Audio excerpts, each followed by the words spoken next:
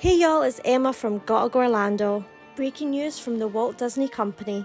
Bob Chapek has been fired as CEO, and replacing him is Bob Iger. After retiring from the Walt Disney Company, he is returning. Iger has agreed to return for two years.